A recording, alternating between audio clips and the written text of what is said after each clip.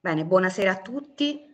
Eh, presentiamo oggi il libro eh, di Flavia Cristaldi, Come il gelso per la vite, edito da Tarca Edizioni.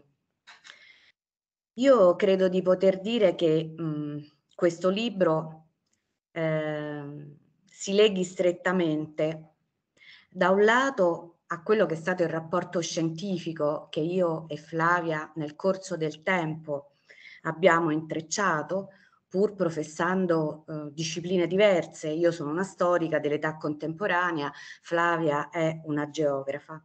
Ma soprattutto questo libro, eh, Flavia consentimi di dirlo, eh, si lega anche all'amicizia che coltiviamo eh, ormai da qualche decennio e quindi mi fa molto piacere partecipare alla presentazione di questo volume che è un volume scritto eh, con un registro narrativo di un romanzo ma in cui saperi diversi si intrecciano e vi fanno da sfondo.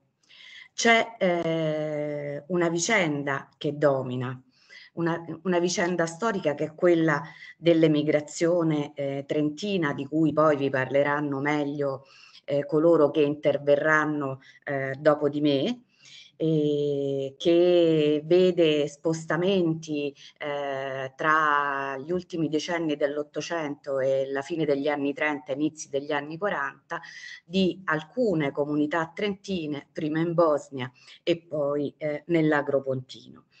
Um, è una vicenda questa che ehm, a lungo è rimasta ristretta nei libri di storia, soprattutto di studiosi locali e non è entrata nei grandi eh, affreschi ricostruttivi della emigrazione eh, italiana.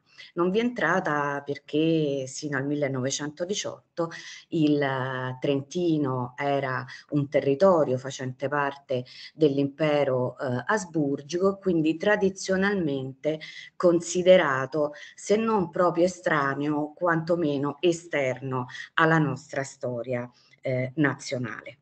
Eh, e questo avviene non soltanto diciamo, per un tema come l'emigrazione trentina, ma per chi voglia proprio studiare eh, alcuni sviluppi eh, di queste zone eh, si ritrovano scarsamente presenti eh, nei libri che invece ricostruiscono le vicende ehm, della nostra storia nazionale almeno fino al 1918. Quella dell'emigrazione trentina è una vicenda quindi che non solo Flavia ha sdoganato, per così dire, eh, da uh, qualche eh, scaffale di una uh, biblioteca, ma ha anche dato a questa vicenda una veste eh, di carattere letterario. Eh, in questo volume infatti non c'è soltanto la grande storia che si intreccia con le storie più piccole, con le storie degli individui, ma ci sono anche eh, tutta una serie di eh, riferimenti di eh, carattere geografico eh, che eh, appaiono sfumati. Anche questi potremmo dire come la vicenda storica sullo sfondo e che vengono trattati eh, con leggerezza in un certo qual senso, come si addice a un romanzo, ma questo non significa che non vengano eh, descritti in maniera molto rigorosa. C'è un'immagine che mi ha molto colpito, è un'immagine che si trova nelle prime pagine di questo romanzo ed è quella della coppia del mezzogiorno. Eh, questa coppia che si abbraccia talmente stretta che la loro ombra sparisce così come sparisce l'ombra quando il sole è a mezzogiorno. È un fenomeno astronomico questo che Flavia eh, richiama, ma che eh, lei eh, traduce in una forma eh, poetica. Eh, del resto, lo sappiamo, eh, penso un po' tutti, Flavia non è nuova a offrire immagini poetiche per fenomeni fisici Penso ad esempio alla raccolta La poesia della terra, poesia e geografia, uscito um, una raccolta appunto di poesie uscita qualche anno fa. ehm, dicevo, ciò che domina eh, dal punto di vista storico è la vicenda migratoria, una vicenda che fa da sfondo ma che riemerge ciclicamente perché ehm, ciclicamente i protagonisti di questo eh, romanzo eh, la richiamano e eh, la ritroviamo peraltro anche come? Ritroviamo la vicenda dell'emigrazione anche non solo diciamo in tutto il romanzo non solo diciamo impone.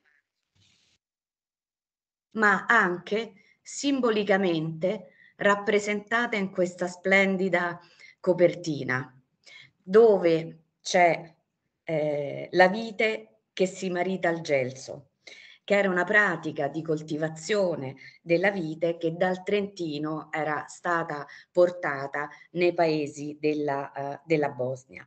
Ed è un'immagine eh, che non solo diciamo, richiama eh, la vicenda storica, ma rappresenta in un certo qual senso il cuore di questo volume, come eh, scopriranno coloro che leggeranno questo romanzo, eh, dove tutto scorre sul filo dei ricordi ed è dominato da due figure.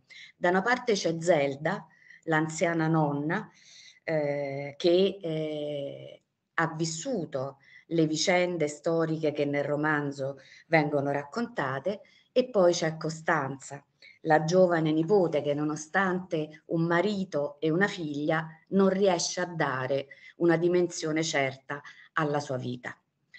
L'aiuterà in questo proprio sua nonna, Zelda, che è una figura possente, una figura di donna capace di stringere legami tra le varie donne della sua famiglia, quindi tra le diverse generazioni, ma è anche una matriarca, se eh, così possiamo dire, per la comunità dei Trentini dell'Agro Pontino a cui appartiene.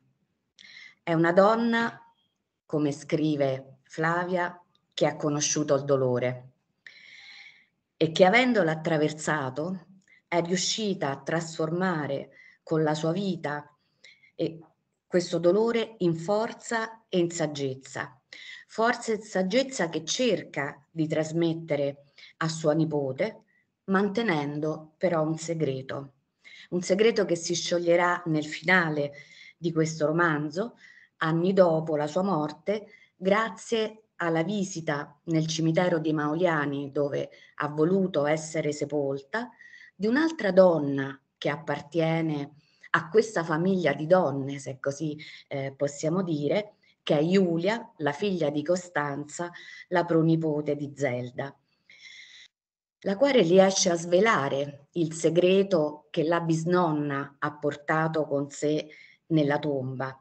Riesce a svelare come quel dolore e quella forza nata dall'amore per un uomo creduto perduto siano stati racchiusi in una frase incisa in cirillico su un ciondolo da cui Zelda non si separava mai e su cui c'è scritto per sempre. Una frase che nel suo cuore, nel cuore di Zelda, non aveva mai perso forza, forza coltivata in una pienezza di un sentimento senza fine. Io non vado oltre perché non voglio rubare spazio agli altri intervenuti, voglio solo ringraziare Flavia per aver accolto il mio suggerimento di chiamare Zelda, la protagonista eh, di questo romanzo. Eh, Zelda era il nome eh, di un'amica eh, di quando mia nonna bambina vive, mia nonna Esther bambina viveva in Trentino. Grazie Flavia per eh, tante emozioni che ci hai regalato nel leggere questo libro. Allora, adesso passo eh, la parola a eh, Piero Bevilacqua. Grazie. Che, eh, Grazie Esther. Piero Bevilacqua ha insegnato molto, molto, molto completa e aderente al, al testo de, del romanzo. Io eh, devo dire che mi sono trovato di fronte a una matriosca di sorprese, una presa all'altra. La prima è che io ho lasciato alcuni anni fa eh, in quella che è stata la facoltà eh, di lettere di noi tre eh, della Sapienza, si chiamava Lettere e Filosofia, eh,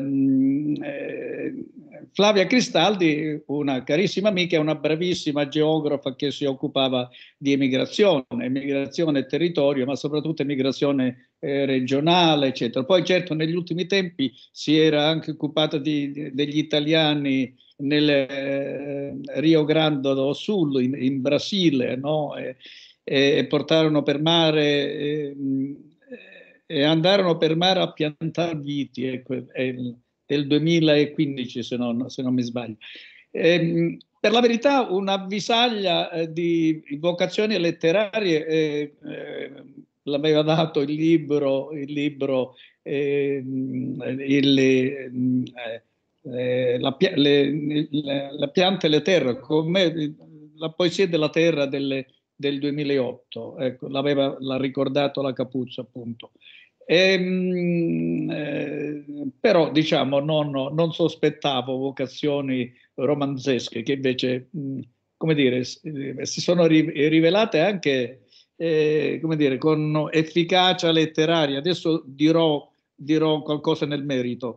Eh, naturalmente la sorpresa eh, di carattere scientifico e storiografico è questa strana triangolazione eh, migratoria tra eh, il Trentino, no, tra Aldeno, diciamo, e questo villaggio de, della Bosnia e, e poi eh, la diramazione eh, verso il centro Italia, verso la, la, la, la piana pontina. Una pagina sconosciuta eh, alla, alla storia della migrazione italiana. Direi che la storia della migrazione italiana non cessa eh, mai di sorprendere man mano che eh, gli studi avanzano. Negli ultimi anni, eh, sapete, abbiamo scoperto una, eh, un'emigrazione eh, non di massa, eh, individuale, eh, molecolare, ma, ma continua, secolare, che ha interessato l'età moderna l'età medievale e moderna. Gli ultimi studi mostrano questi viaggi degli italiani attraverso i valichi alpini verso la Francia, la Germania, la Svizzera e perfino eh, il Regno Unito, oppure eh, verso, verso, il sud del, verso il Nord Africa attraverso, attraverso, il Mediterraneo. Ogni tanto scopriamo, eh, diciamo, queste mh, mm, eh, piccole no, eh, questi frammenti di emigrazione speciali, particolari, ma non meno, ma non meno interessanti. Eh, Flavia racconta nella postfazione al romanzo eh, la maniera avventurosa, no? eh, il gioco che l'universo ha giocato, un ragazzo, un, un allievo che cambia tesi e, e che viene indirizzato a, ad esaminare carte polverose, però interessanti, poi il regalo di una tesi in cui c'è un pezzo di storia già scritto di questa, eh, di questa emigrazione. Allora, tornando alla, a, andando alla materia del libro, direi che eh, c'è una parte epica, no? eh, che è la parte che riguarda la, la, la, l'emigrazione, gli spostamenti. La parte epica riguarda eh, è interna alla politica da un punto di vista storico, è interna alla politica di colonizzazione dell'impero austro-ungarico che in funzione antiturca no, richiamava, richiamava, popolazione anche dal nord Italia per eh, creare presidi eh, anche di carattere, eh, di carattere, non solo etnico ma anche religioso, presidi, presidi cattolici e così via. Naturalmente eh, in questa, in questa, di questa epica fa parte eh, la descrizione delle condizioni di lavoro, la vita durissima eh, che eh, si conduceva diciamo in quelle terre tra 8 e 900, una natura selvaggia e desolata da colonizzare, lo sforzo eh, davvero eroico dei protagonisti che si avventuravano eh, su queste terre eh, dove c'era da fare, c'era da, da, fare, da fare tutto. Naturalmente non è solo questo, c'è eh, anche eh, attraverso il racconto dei, dei protagonisti, c'è, eh, eh, divari, c'è, l'economia del tempo, l'allevamento, l'allevamento dei bachi, eh, ci sono uh, le tradizioni culinarie, le tradizioni, le tradizioni alimentari, c'è uno spaccato, eh, uno spaccato storico molto aderente perché mh, eh, Flavia del Resto eh, non è una, una, geografa descrittiva, è, anche, è, anche, è, sempre stata anche un po' storica, no? e questa sensibilità per la storia si manifesta anche in questa, in questa circostanza. E ci sono anche narrazioni di eventi eh, terribili come, come, lo straripamento dell'Adige, eh, che viene naturalmente eh, raccontata no, oh, da alcuni testimoni eh, che avevano assistito eh, a questa tragedia. devo dire che c'è anche un'ep- un'epica del viaggio, una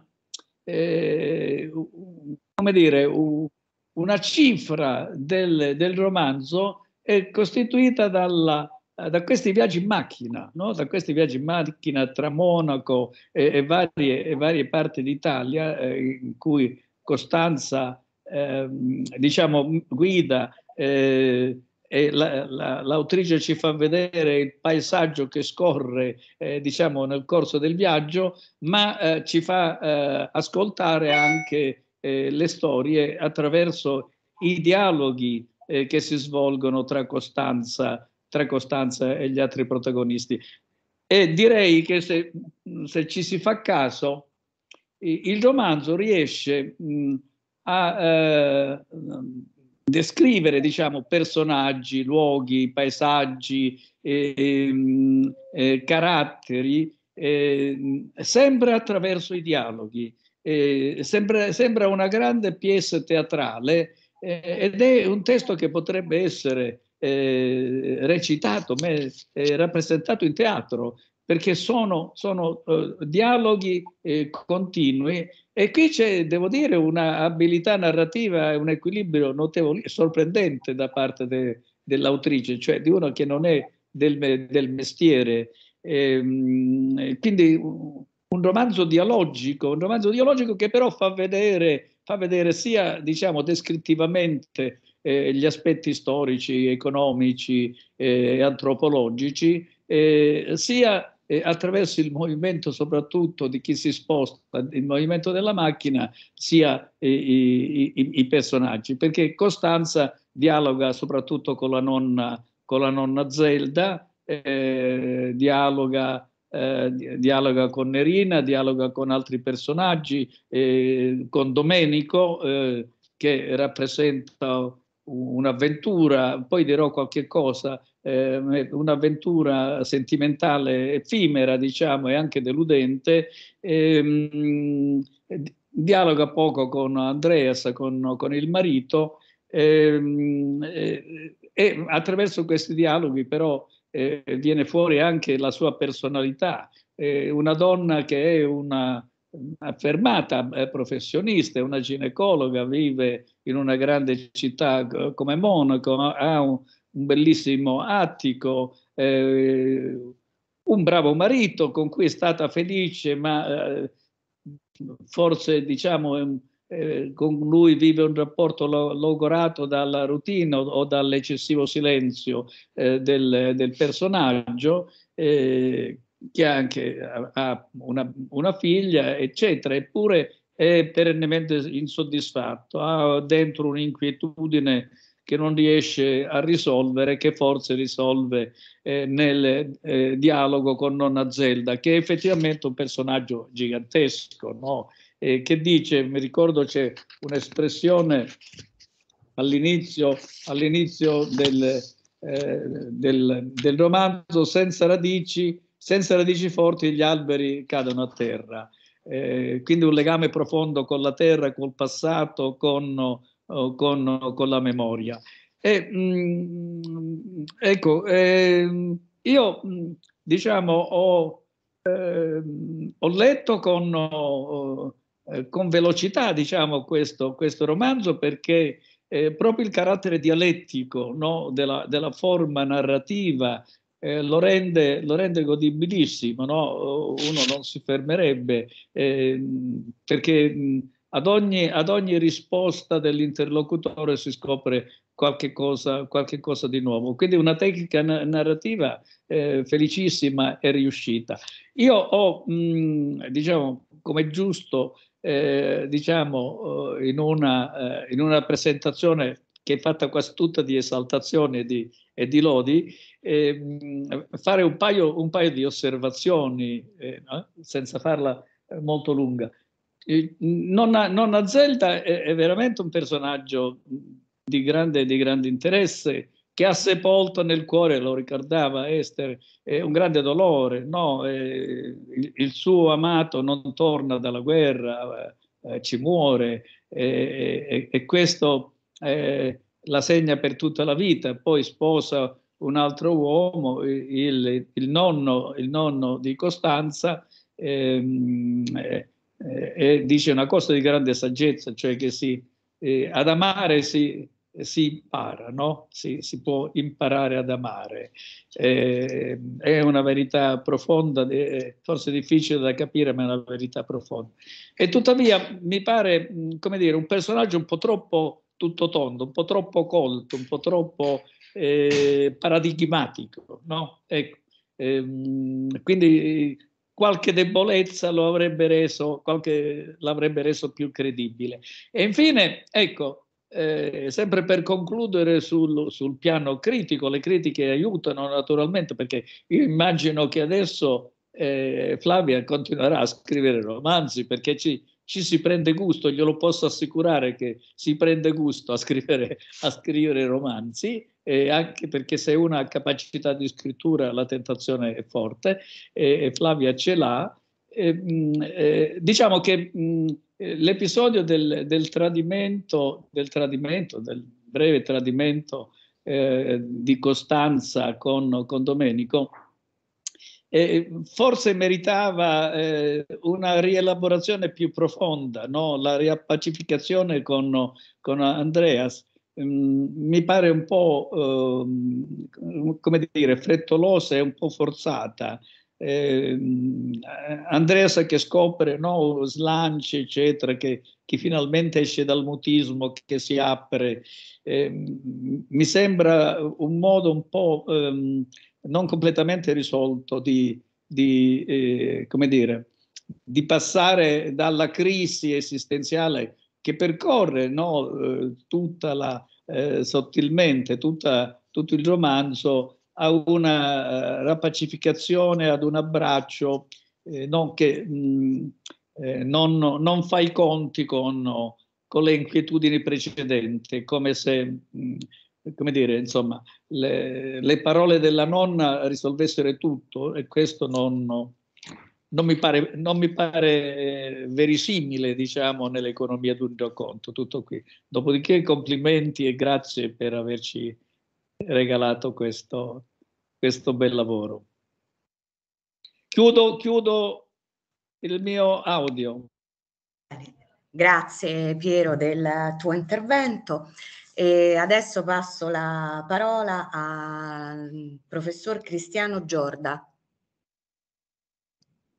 Esther, perdonami, Cristiano, perdonami, mi intrometto perché c'è Maurizio Tomasi, non so ah, se l'hai visto. No, no, no, non, allora, ah. scusatemi, eh, è con noi adesso Maurizio Tomasi che mh, molto gentilmente è riuscito a poter stare con noi in questo momento, ma ha anche degli altri impegni e quindi eh, diamo a lui la parola prima di procedere con eh, gli altri eh, relatori.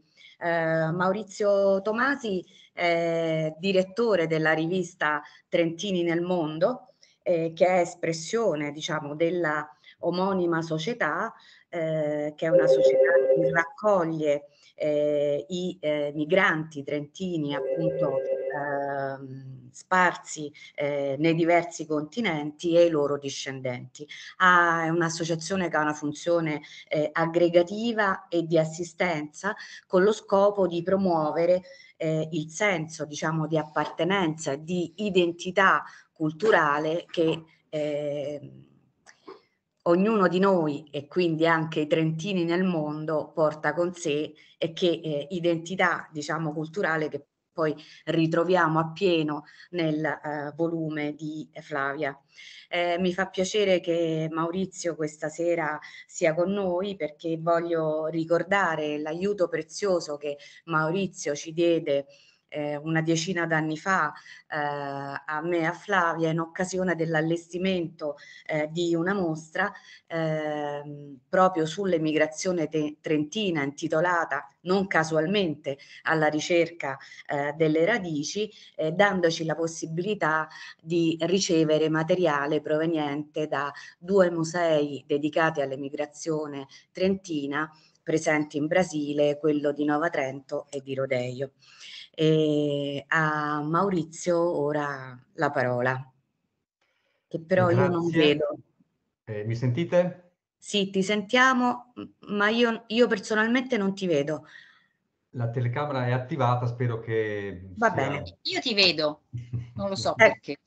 Allora, Eccolo. intanto eh, chiedo scusa di questa invasione appunto eh, a questo punto della, della, vostra diretta. Vi ringrazio della cortesia che mi, che mi accordate per appunto potermi inserire in questo momento per poter così eh, poi eh, andare avanti con gli altri impegni del pomeriggio. Ringrazio Esther Capuzzo di questa breve e bellissima presentazione dell'Associazione Trentini nel Mondo, nella quale ha colto molti degli aspetti che caratterizzano questa associazione che tra più di 60 anni si occupa appunto di mantenere i raccordi con eh, gli emigrati trentini e i loro discendenti in diversi paesi. Sono particolarmente felice non per me ma per eh, Flavia che siamo arrivati oggi in questa giornata a presentare il suo libro perché so qual è la, la, gioia che può provare perché ho avuto il privilegio di essere testimone di tanti dei momenti cruciali all'interno di questo percorso che l'ha portata a realizzare questo, a scrivere questo, questo romanzo in più fasi. E è arrivato anche in, in redazione all'associazione, quindi ringraziamo eh, di, questo, di, questo, omaggio. E, eh, Flavia è legata molto alle, alle coincidenze, alla sincronicità. E credo che questa, questo romanzo, questo suo scritto, eh, sia la dimostrazione che lei ha ragione, insomma, la sincronicità esiste e nella vita di tutti i giorni abbiamo a che fare con questo tipo di, di realtà. lei, lei, sorride perché sa che io sono stato, sempre stato molto scettico invece di fronte a questa sua posizione. Però oggi veramente condivido, eh, anche a nome dell'Associazione Trentini nel Mondo, questa, questa sua gioia e, e, appunto sono anche felice di essere stato come dire, in qualche modo testimone anche per certi versi fautore di alcuni dei momenti cruciali che hanno portato alla scrittura di questo volume. Dal, dall'inizio uh, del, dire, dello studio che avete fatto in, assieme sulla legge 379 del 2000, eh, una, una, legge fortemente voluta da Lino Zandonai che è stato per oltre vent'anni il direttore dell'Associazione Trentini nel Mondo, poi l'incontro in terra pontina con, con la realtà eh, della comunità trentina, appunto, eh, in, eh, che, che, aveva radici trentine anche in Bosnia, e poi eh, questa visita alla terra bosniaca proprio che è avvenuta nel giugno del 2012. E voglio solo dire una cosa che condivido perfettamente quello che le ultime righe del, del libro dove dice sono convinta, scrive Flavia, che la storia dei trentini di Bosnia e dell'Agropontino meriti di essere conosciuta. È vero perché è una storia assolutamente del tutto originale, questa doppia migrazione, prima all'interno di uno Stato come quello multinazionale dell'impero austro-ungarico e poi il rientro in Italia. È una storia che all'interno della storia dell'immigrazione, che è così ricca di tantissimi elementi umani e um, unici, ha una sua unicità ancora ulteriore per questo doppio spostamento. Quindi eh, ringrazio eh, dell'invito, ringrazio di avermi permesso questa, eh, questo ingresso, insomma, anche magari fuori programma ribadisco la mia gioia che condivido con, con Flavia e le faccio i complimenti e mh, mm, permet mi permetto di fare una, se ce la faccio, una piccola sorpresa, se riesco a, se riesco a condividere lo schermo. È un'immagine che risale al giugno del 2012, quando c'è stata questa trasferta in Bosnia, e nella quale si vede eh, Flavia che, come dire, eh, eh, è, sta partecipando ad un pranzo comunitario all'interno della, della, mm, della, comunità di Stivor e credo che il suo sorriso, eh, Flavio, se vedete lo schermo è la prima nell'angolo a destra, credo che il suo sorriso esprima pienamente la gioia che stava provando in Maurizio, questo momento. non si vede. Ah, peccato. Io ho, ho messo in condivisione, mm, ve la manderò, è una foto in cui si vede il sorriso appunto di, di Flavia che immagino, spero, corrisponda a quella, alla gioia che sta provando anche in questo momento. Grazie a tutti della, della pazienza di avermi ospitato ed ascoltato e buon proseguimento di presentazione. Un abbraccio a tutti.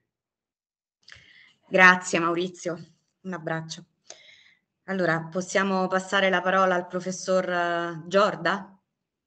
Grazie, buonasera. Buonasera. E, intanto molti, molti complimenti a Flavia, eh, che è una collega carissima, che è bravissima sul tema delle migrazioni, su cui ci siamo riconosciuti. Io ricordo il suo libro Immigrazione e Territorio come il più bel libro che ho letto sulle migrazioni eh, perché aveva quella densità di umanità che gli altri tendono a non inserire, forse perché la considerano meno scientifica, eh, ma non io, perché lavorando sul piano anche dell'educazione in realtà è anche una cifra mia e a me, a me pare una virtù in più, quindi devo dire che lo avevo apprezzato in particolare per questo aspetto di, di densità, no? perché parlare di migrazioni come un fenomeno quasi guardandolo da lontano sembra quasi un modo di impoverirle e quindi non mi stupisce che, che uno sbocco di questo suo lavoro sia stato il passare direttamente su una narrazione, su un registro narrativo che non è quello accademico ma è quello letterario. E devo dire che è stata una sorpresa la lettura di questo libro per, mm, perché ho cominciato a giucchiarlo, ho detto vabbè me lo leggo un po' per giorno e poi in realtà non sono riuscito facilmente a staccarmi, quindi è un libro che ho letto proprio come si leggono i libri eh, che, che, ti piacciono, che ti entusiasmano, dai quali non riesci a... Vuoi, vuoi vedere quale sarà la fine, perché è un libro, mm, come ha detto Piero Bevilacqua prima, anche anche bene, che è veramente un libro, è veramente una, una vicenda narrata in modo letterario, adulto e, e molto ben, ben, strutturato con dei personaggi che sono avvincenti, ecco, in cui a volte ti identifichi anche o, con, o in qualche modo senti di, di prossimità tua. Ecco, cioè, eh, e tutte queste vicende in fondo parlano di cose che forse in qualche modo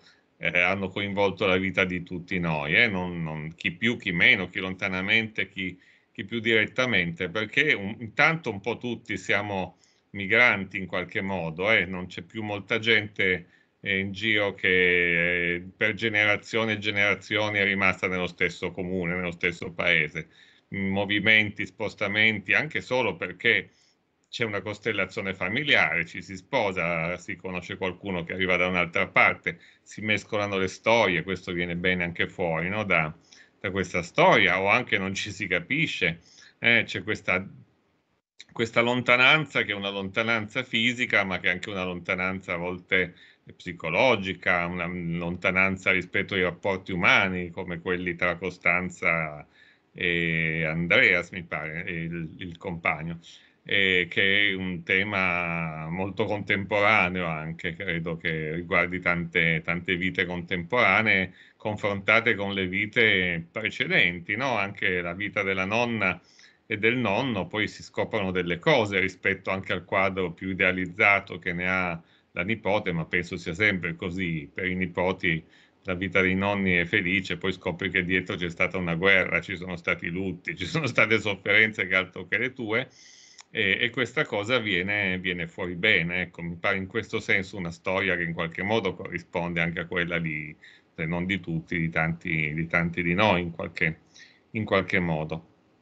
Eh, un'altra cosa che, che, mi ha colpito, li parlo un po' a ruota libera se mi permettete, eh, in, questo, in questo senso, un'altra cosa che mi ha colpito di, di questo di questo libro è eh, proprio questo tema che potremmo dire delle, dei, dei, rapporti tra le persone e i luoghi, che poi è forse un tema da geografi in questo senso, no? su cui riflettiamo, riflettiamo tanto. E, e qui vi, il registro narrativo, che poi, se vogliamo, è veramente anche geografico per molti aspetti, è, è quello di, di, di narrare i luoghi attraverso le persone, attraverso le vicende. E quello che ne, che ne emerge è molto affascinante, perché ci dà una complessità del valore dei luoghi che altrimenti facciamo fatica anche a spiegare, anche come geografi a volte, no? lo sappiamo, ma è difficile convincere gli altri di questa densità di valori che hanno i luoghi per le persone, perché non abbiamo, forse non siamo stati capaci anche di tirare fuori una letteratura scientifica in grado di argomentare in modo adeguato su questa cosa, quindi c'è un margine certamente anche di, di lavoro, ma il tema è davvero anche contemporaneo, forse proprio per il fatto che tra globalizzazione e altri fenomeni oggi questo legame sembra più debole che in passato, no? questo tema delle, delle, radici è stato detto anche prima, ma che cos'è questa, questa cosa delle radici? Abbiamo così bisogno delle radici, poi arrivano eh, abbiamo avuto degli antropologi che hanno, molto, hanno scritto libri intitolati Contro l'identità addirittura eh, e hanno portato una narrazione come dire, negativa sul tema del, dell'identità. Eh, poi adesso non andiamo su questo tema specifico, ma qui viene fuori, cioè da, da, da un lato c'è un'identità eh, generale, politica, potremmo dire ideologica, che certamente è pericolosa e in qualche modo ci dobbiamo esercitare a decostruirla, mm, anche se ci attraversa, ci attraversa come eh, gli stati che hanno attraversato diversi, le vicende politiche no? che sono raccontate in, i cambi di confine in questa, in questa storia. Però c'è un'identità personale che invece è preziosissima e andrebbe sempre rispettata in pieno, anche come un mistero che ci portiamo dietro no? e, che, e che andiamo a, a, a cercare di capire come, come, fa Costanza un po' in tutto questo, in questo racconto e che anche a volte ci portiamo come un dolore, come qualcosa con cui dobbiamo negoziare di compromessi e nello stesso tempo qualcosa di indispensabile. Insomma, viene tutto fuori questo, secondo me, dalla, dalla narrazione di Flavia. Quindi è veramente un libro che no, ho letto volentieri e che consiglierei di, di leggere eh, anche perché è, è, ben scritto. C'è un punto in cui alla fine no, la nonna eh, si chiede ma in fondo qual è la mia terra verso, verso l'epilogo e questa è veramente una domanda su cui potremmo fare un, un seminario perché eh, intorno a questo tema che tra l'altro intanto ho toccato anche in alcuni laboratori con, con gli studenti mi piace con i giovani lavorare su questo tema perché per loro è anche un tema eh, importante e controverso. E, beh, questa è veramente una domanda che in qualche modo ci portiamo, ci portiamo dietro, non è una domanda retorica, è una domanda che tutti ci chiediamo, no? qual è la nostra vera terra, dove vogliamo essere sepolti, eh, dove veramente c'è la nostra, ci sono le nostre radici, quasi sempre nei luoghi dell'infanzia naturalmente però allora che valore hanno tutti gli altri luoghi? Perché in ogni caso sappiamo anche, anche la nonna dicendo questa cosa dobbiamo vivere, oggi si dice nel qui e ora, no? nel, la, oggi è più importante di tutti gli altri ieri che abbiamo avuto, però questi ieri sono anche presenti nella nostra quotidianità, in qualche modo ci, ci vengono dietro. A me sembrano tutte cose che il libro fa emergere, almeno a me sono venute in mente leggendo il libro, quindi mi sono appuntato queste cose, poi ogni libro parla nostra, al nostro vissuto e quindi queste sono anche le, le, mie domande che mi porto dietro a volte nella, nella, mia, nella mia, evoluzione, nella mia quotidianità. E poi c'è un discorso più ampio, no? quello di Trentini, della, della, delle vicende, anche di, di, una collettività più ampia, no? non solo della storia personale e familiare. E siamo immersi anche in parte in quella roba lì, di cui oggi forse siamo meno consapevoli di un tempo, cioè c'è stato un tempo in cui anche la retorica eh, politica, ideologica portava molto di più a identificarsi in un popolo, in una nazione, in, un, in una comunità. Ecco, oggi questi legami sono un po' un po' sfilacciati, forse il fatto che siano sfilacciati da un lato ci rende più liberi, dall'altro anche più inquieti e quindi ci interroghiamo su, su, su, che valore abbiano. Ci interroghiamo su che valore abbiano anche di fronte ai migranti contemporanei che attraversano il Mediterraneo, che attraversano l'Asia verso l'Europa, che, che vanno eh, da, da, varie parti del mondo verso altre parti che, che, ben conosciamo e che si portano dietro tutte, tutte queste cose. Ci aiuta anche un po' a pensare al valore delle persone. Ecco, io credo che nella decostruzione della retorica anche politica bruttissima che abbiamo sul fenomeno migratorio, una via d'uscita è proprio quella di vedere il valore delle storie personali, perché la storia personale non è qualcosa che possiamo né giudicare né, né attaccare né, né generalizzare ecco, su, su, categorie di buoni, cattivi, amici, nemici e, e, tutto quello che poi sentiamo banalmente a volte da, da una certa politica soprattutto.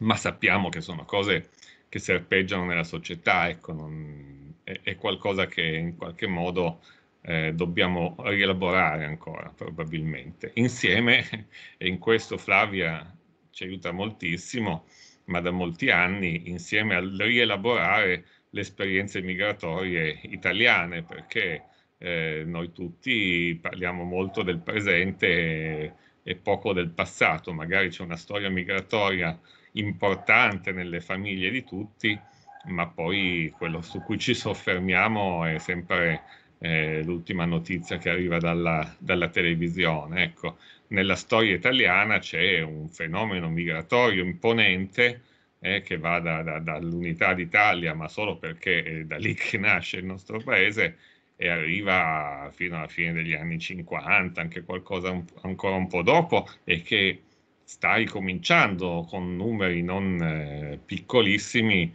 eh, in questi ultimi, ultimi anni e quindi ne abbiamo ulteriormente proprio bisogno, fa parte di quelle cose che a volte tendiamo non un po' a rimuovere, no?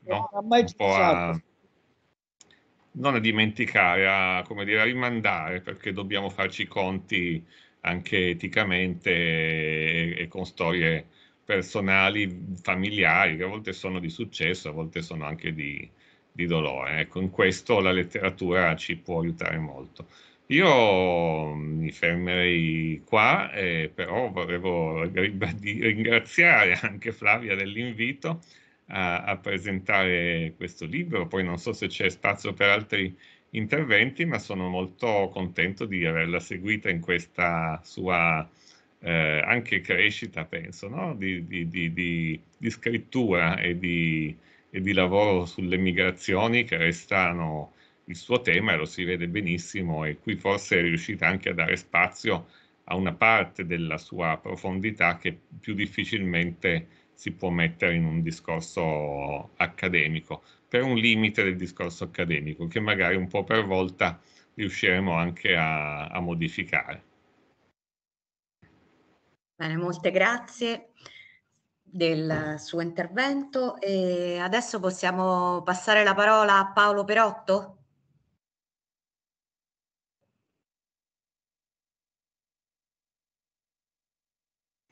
Vediamo se si sente. Sì. Ti sentiamo, sì. sì. Ti, sentiamo Paolo. D'accordo. Eh, siamo lieti che anche tu sia qui stasera con noi perché anche con te come con Maurizio abbiamo diciamo, eh, diciamo utilizzato la tua esperienza e il tuo aiuto prezioso per la realizzazione di quella mostra eh, e non solo che facemmo eh, nel 2010 nel, in quello che allora era il nostro dipartimento all'ex istituto di geografia alla facoltà di lettere della Sapienza.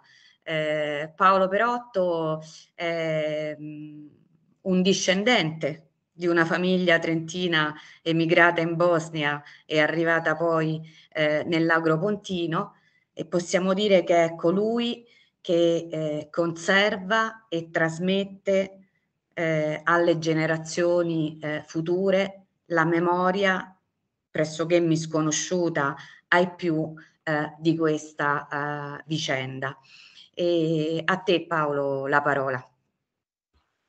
Sì, vediamo se riesco, è chiaro che non riuscirò ad essere né molto obiettivo e neanche molto accademico e neanche molto colto.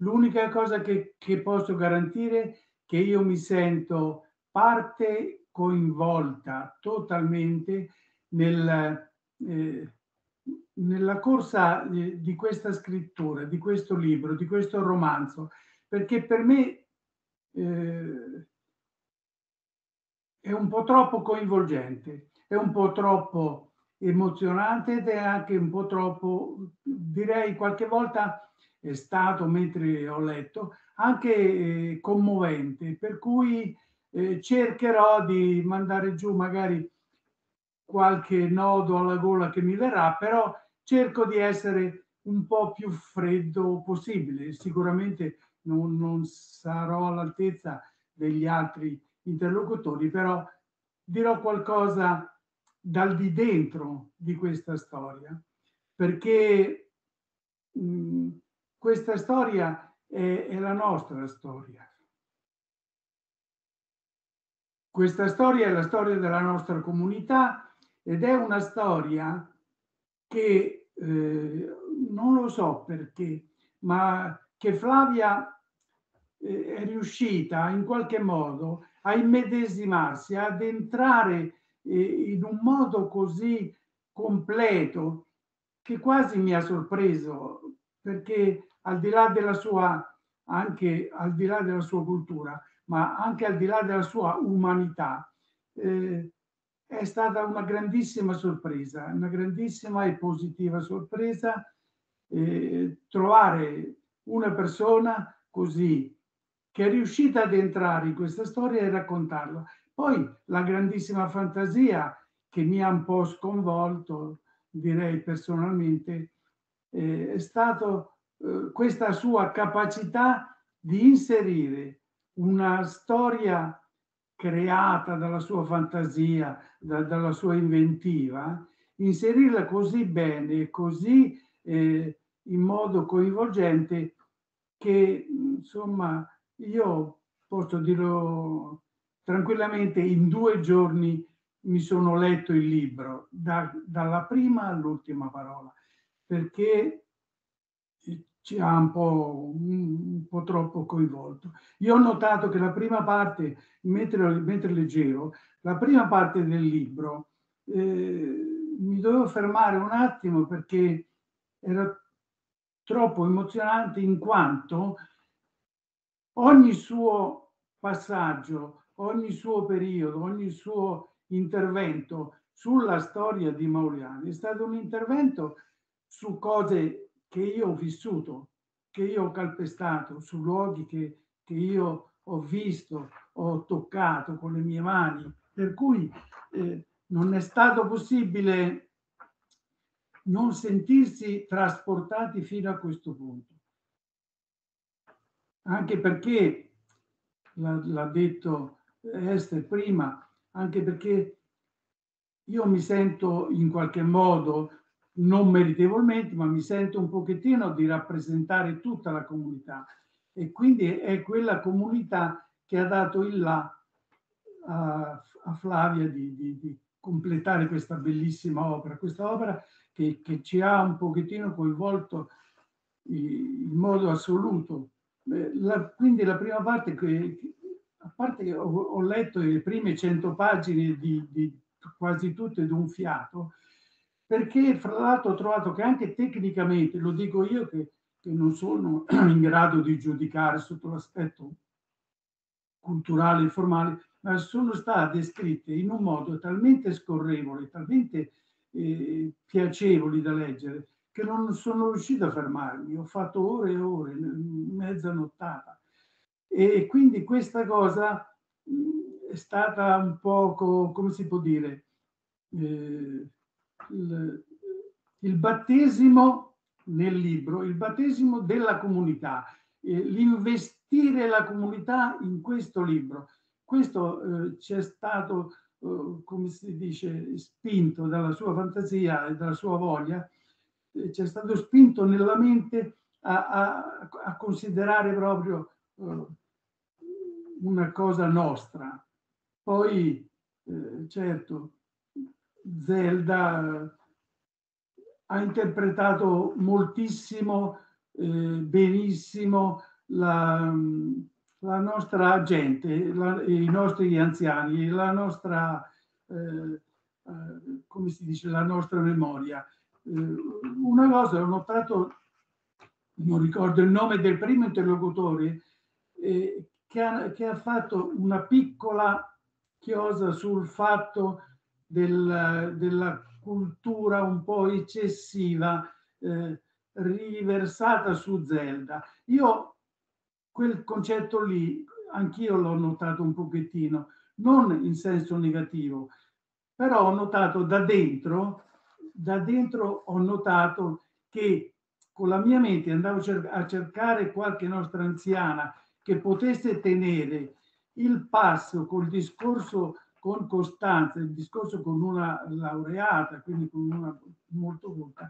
E fra le nostre anziane forse non c'era quello, perché i, i nostri figli, i figli della nostra comunità hanno cominciato a avvicinarsi alla cultura dagli anni 60-70 in poi e quindi lei investe molto di, ha investito molto di più eh, anche un ruolo che forse è eccessivo sotto l'aspetto culturale per lei, ma è stato determinante e importantissimo per portare anche Costanza alla, a, a, alla parte finale, all'epilogo del libro, quell'epilogo che ci ha un po' sconvolti, che, che non so, devo soltanto ringraziare eh, Flavia di, di aver avuto una intuizione, un, un modo di, di, di, inventarsi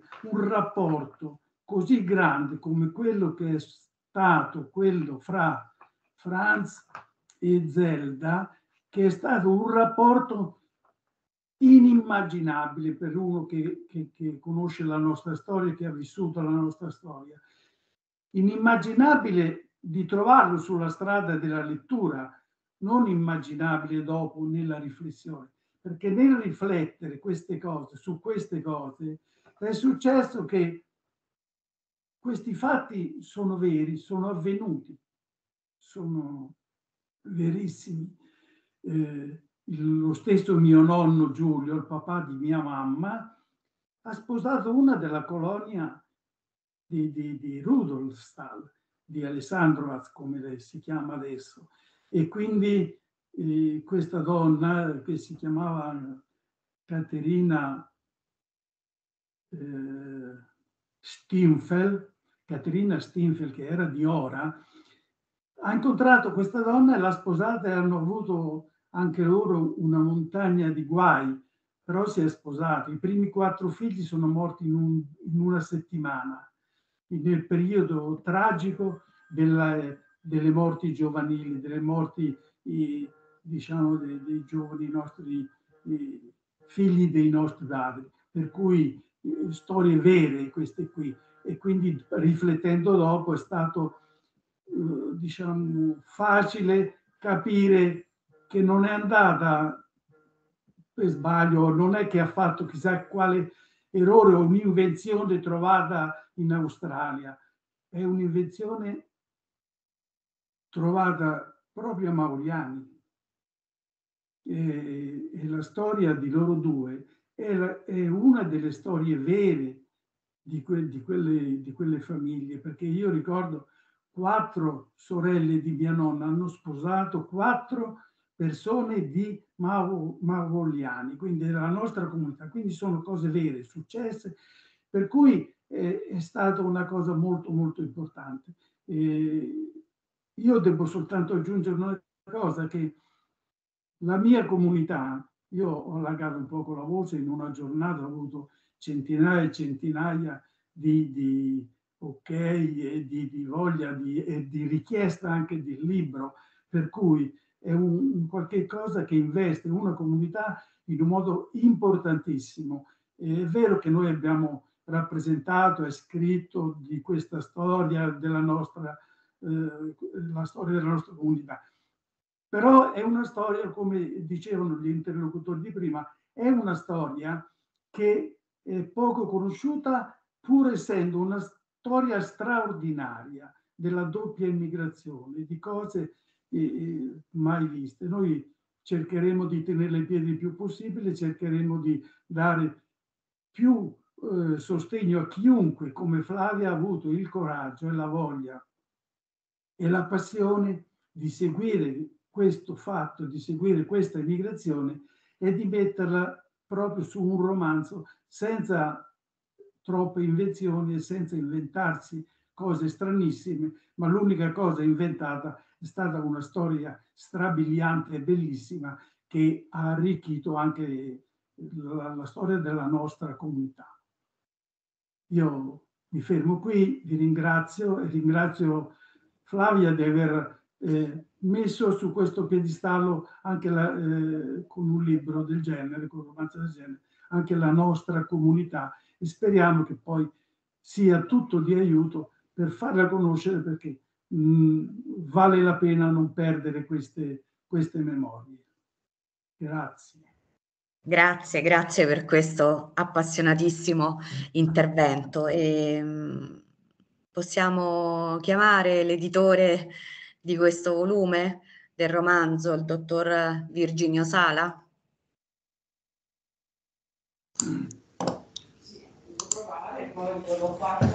Eccomi, mi vedete? Buonasera. Sì, sì, la vediamo. Buonasera. Che cosa posso dirvi io? Avete detto già quasi tutto. Beh, eh, sono contento che l'abbiamo prodotto questo libro, tanto per cominciare. Mi sembra che meritasse. Mi sembra interessante in generale questa forma di inserimento all'interno di una narrazione di fantasia, di una parte storica, perché è un bel modo di, di raccontarla, di renderla presente. Sapete che Tarca come editore sta in Lunigiana, che è una delle regioni che dal punto di vista dell'emigrazione ha significato parecchio. E sta a Mulazzo che è il comune in cui oggi si trovano i paesi di Parana e di Montereggio che sono i paesi da cui partivano i famosi librai pontremolesi, quelli che con le ceste andavano in giro per l'Italia a portare libri e poi hanno dato origine ai bancarellai, alcuni di loro hanno persino passato l'oceano e sono andati a fondare case editrici in, in Argentina, per esempio. C'è una casa editrice argentina che è stata fondata da librai pontremolesi. Quindi c'è anche, come dire, ci sta bene nel nostro catalogo un libro del genere perché siamo vicini.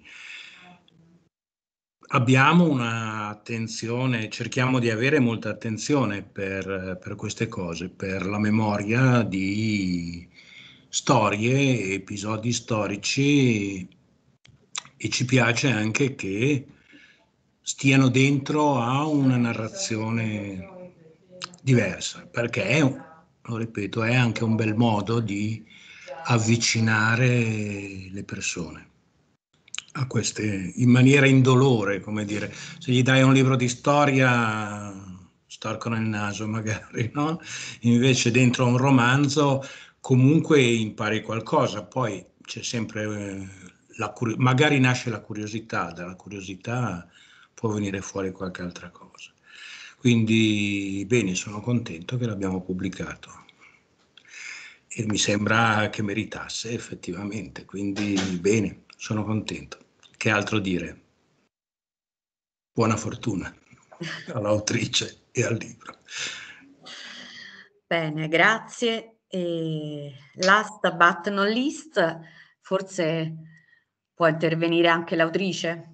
Certamente, intanto grazie a tutte e a tutti, intanto grazie alla Società Geografica che ci sta ospitando, grazie ai miei splendidi amici oratori che mi hanno accompagnato lungo questo percorso, grazie Paolo perché la tua umanità traspare, me l'hai trasmesso, tanto di quello che ho scritto io l'ho imparato da te, eh, quindi eh, grazie davvero. Eh, avete in parte raccontato un po' com'è nata questa opera, eh, però per chi non, non, ha messo insieme tutti i punti lo racconto sottolineando appunto il ruolo dell'universo, come diceva Maurizio prima, io credo molto nelle sincronicità e io non volevo fare questa ricerca, non volevo studiare l'emigrazione di fine Ottocento dal Trentino. Esther spingeva perché dice dai sì, facciamo questa ricerca insieme, facciamo un convegno.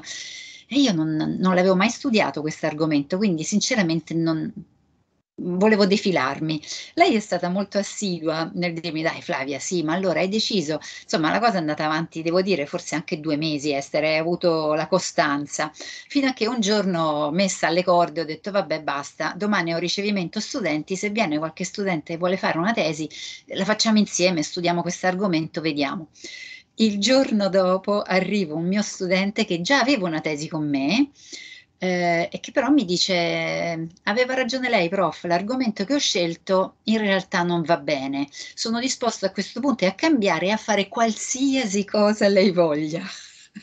a quel punto dici va bene, ok, allora imbarchiamoci in questa avventura. Siamo andati al, al ministero, abbiamo avuto accesso a questo enorme materiale e da lì sono nate fuori storie e tra le quali abbiamo scoperto di Esther questa storia sconosciuta della Bosnia, eh, storia di cui veramente non sapevamo nulla. Quindi ho chiamato l'amico della Trentina nel mondo dicendo Maurizio ma tu ne sai qualcosa, conosci qualcuno in Bosnia? E lui mi dice ma a dire il vero no, non molto, neanche noi sappiamo, però guarda tra una settimana vengo a Roma, mh, mm, ci sentiamo, devo andare in pianura pontina, magari lì qualcuno sa qualcosa. Per cui andiamo a cena in pianura pontina con degli altri amici eh, e c'era il proprietario del ristorante, non so se mi sta sentendo, Gianni, al quale io come niente fosse dico, sai, io sarei interessata a studiare questo argomento, ho saputo che voi eh, forse potete conoscere qualcuno, i trentini di Bosnia, dell'Agropontino, e lui mi fa, aspetta un attimo. Quindi tra una pizza e un'altra, a un certo punto torna e mi mette in mano una tesi di laurea sui trentini che erano emigrati in Bosnia. Dico no, ti prego, non è possibile una pizzeria spersa nella pianura pontina di notte, mi trovo questa tesi in mano come fosse un dono, dice te la presto. Eh, dice vuoi parlare con il presidente dell'associazione? E dico certo, nel giro di pochi giorni avevamo l'appuntamento e Esther siamo andati, abbiamo conosciuto Paolo che gentilmente ci ha prestato del materiale, eh, insomma ci ha coinvolto in, in, sempre di più in questa storia. Io mi sono veramente appassionata, eh, però ero curiosa, no? Perché dico, caspita, ma io in Bosnia ci voglio andare, voglio andare a vedere sta Mauliani, ma come sarà? Eh, e questo desiderio è stato lì che è rimasto dentro di me. A un certo punto, credo forse dopo un paio d'anni, non lo so, le, un bel giorno Maurizio della Trentina del Mondo mi chiama e mi dice Flavia, noi tra una settimana andiamo mh, mm, in Bosnia eh, per una cerimonia e passeremo per Maovliani. Ti, ti invitiamo, vuoi venire? Ho preso il treno, sono montata sul, sul, transit, ci siamo fatti ore e ore e ore di pulmino, il giorno dopo stavo in, in Bosnia, ho visto Maovliani, mi sono emozionata, ho visto la chiesa, cioè ho, ho, visto quei luoghi dei quali io avevo studiato, avevo visto dei documenti, avevo letto qualche cosa, qualche lettera, il vederlo, vedere gli alberi, vedere la terra, immaginarmi queste terre calpestate. Per cui sono ritornata poi a Roma ancora più ricca e ho detto no, io devo scriverla questa storia. Cioè, ci ho messo anni, eh, proprio tanti e tanti anni, scritture, riscritture, ho, ho imparato, ho cancellato. Eh, Piero ne sa bene qualcosa perché lui pure scrive, non l'ha detto, ma anche lui scrive poesie, scrive eh, libri sceneggiature per il teatro, ecco perché ci ha invitato a renderlo poi una pièce teatrale. Io ci vedo bene anche un film, a me piacerebbe enormemente poterci fare un film. Vediamo, chi lo sa, come dico io, se l'universo vuole sarà. E, e, quindi insomma ci sono state una serie di coincidenze, sincronicità talmente strane, talmente particolari che io so che questa storia doveva essere scritta, doveva essere raccontata e quindi spero che questo libro venga letto, questo libro venga letto anche dalle diverse generazioni perché eh, ognuno di noi può trovarci dentro, come diceva Cristiano prima, eh, delle rispondenze personali, no? qualcuno che poi ci si identifica eh, si può identificare in un piccolo personaggio, nel grande personaggio, in un luogo, in un, in un processo e quindi dico solo grazie a tutti voi e grazie per questa lettura. Grazie. Ecco, l'emozione di Paolo, cioè, capisci che tu mi entri nel cuore e io, cioè, il, il, scrivere qualche cosa per poter donare un'emozione a qualcuno, cioè mi metto a piangere anch'io adesso, non vale. Esther, a te chiudi. Non ti sentiamo. Bisogna, bisogna forse ecco. ricordare che è una storia di donne, sia come dire, per eh, la, cucina, la cucina scientifica tra te ed Esther, no? che sottostà all'ideazione alla ricerca, e alla, ricerca archivistica e, e all'ideazione del romanzo, sia per eh, le protagoniste del romanzo medesimo, no? grandeggiano, grandeggiano, la nonna eh, e naturalmente Costanza. Eh, di questi tempi, diciamo, mettere in primo piano la vicenda delle donne mi pare molto importante da, da più punti di vista, come sappiamo bene. Scrittura al femminile, certo. Sì. Eh, c'è qualcuno che desidera intervenire? Ah.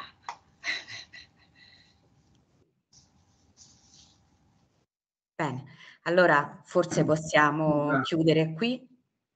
Aspetta, ho sentito una voce. Sì, sono Paolo. Sì, Paolo.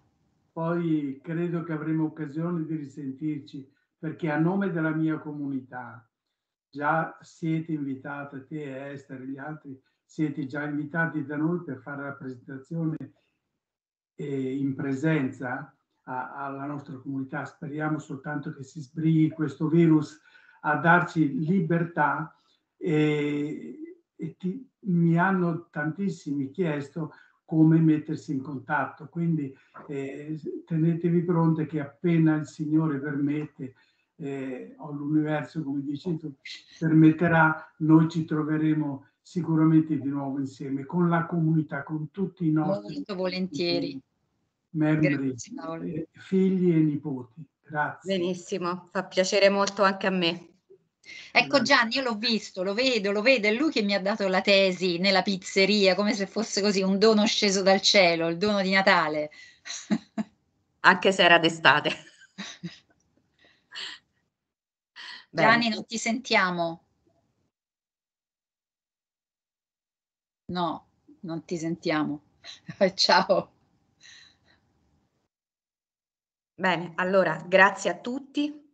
Eh, penso che mh, mm, abbiamo passato insieme un pomeriggio molto interessante, eh, ricco di stimoli ma anche di emozioni eh, e la storia è anche questo. La storia è anche questo e, e speriamo che finalmente molti si rendano conto che la storia non è solo una sequela di date e un fatto noioso, perché la storia, quella con la S maiuscola, è sempre una storia fatta dalle storie di tante persone. Anche Beh, la geografia, eh?